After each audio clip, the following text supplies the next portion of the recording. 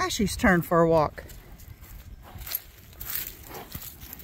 She is not as trained, as you know, as uh, Isra and uh, Yoshi. She's much younger, much greener. We saved her from a, oh, oh, from a kill pen back in uh, October. And uh, I ride her most of the time. She, she's my bad little girl. Uh, she's really face sensitive. I think it's from all the little kids constantly touching her at a camp. Uh, so, I know. So she, uh, I know. I'm trying to get out so you can see her. We'll just walk circles for a second.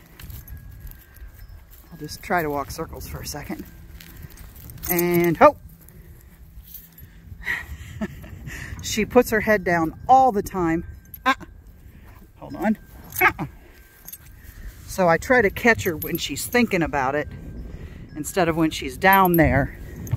So we can work it every time we stop.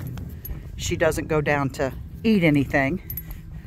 So that's what we're working on now. Uh-uh. Uh-uh.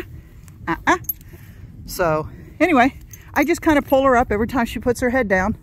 Once again, I am, guys, I'm not experienced in uh, a bunch of major stuff, but what I am experienced in is caretaking, uh, understanding how an animal or a person thinks, and I am not afraid to do research.